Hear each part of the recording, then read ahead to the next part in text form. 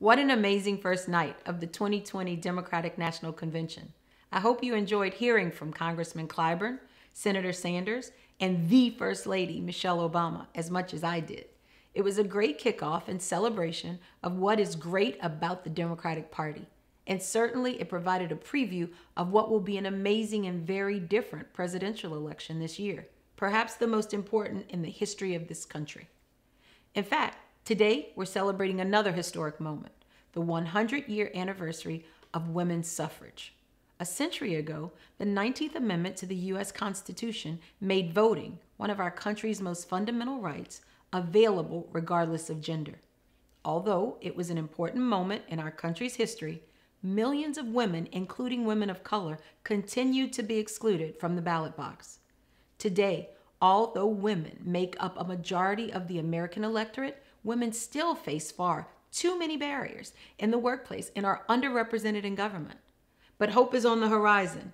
With the selection of Senator Kamala Harris as our next vice president, Democrats are proving that we the people truly means all the people. A moment like now demands real leadership, a leader who has the experience and character to meet the moment.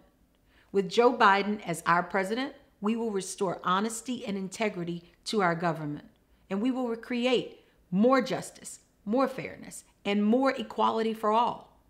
We hope you'll join us tonight for Roll Call Across America as we hear from delegates, voters, parents, teachers, small business owners, activists, and leaders in our Democratic Party as they officially cast votes to nominate Joe Biden to become the next president of the United States.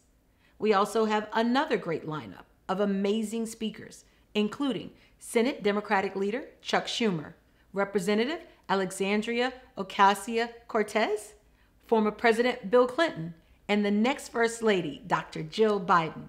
Tonight will be another amazing night of energy and promise.